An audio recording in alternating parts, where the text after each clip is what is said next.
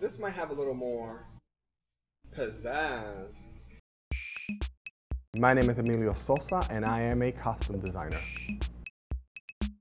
A costume designer is responsible for the look of the show and that incorporates everything from the hair, shoes, makeup, and clothing that the actor wears throughout the show. There's no typical day in the life of a costume designer because every day is different depending on what you're doing.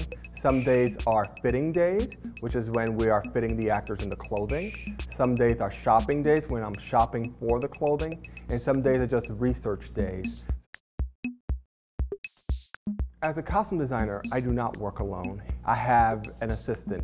Then we have our tailors, you have sewers, you have artisans, I think the most important skills that you need to be successful as a costume designer is you have to have the art of collaboration. Because like I said, you don't work alone. You're always working with a team. You have a director who has a vision, and our job as a costume designer is to support that vision. You need to be able to like research, because depending if it's a period piece or if it's a current piece, you have to be able to research.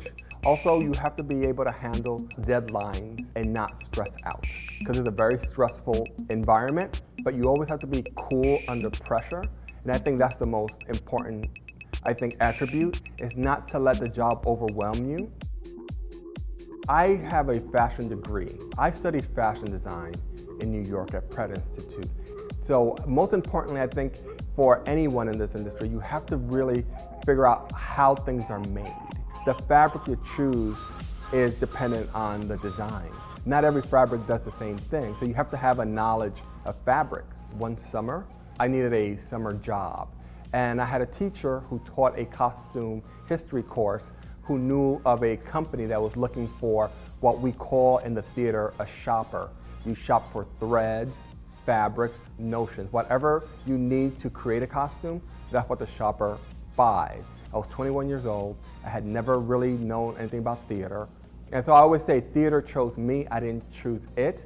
But like it's been over 25 years and it's been an amazing journey. So my first big job was Top Dog Underdog under George C. Wolfe. And that was the show that brought me here to Center Theatre Group for the first time many, many years ago. I've been fortunate because I love coming here.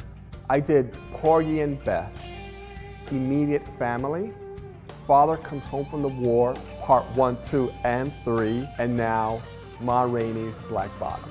So I will always say, go to school, learn how clothing is made, and then go into the business. Because at the end of the day, you're making clothing for people.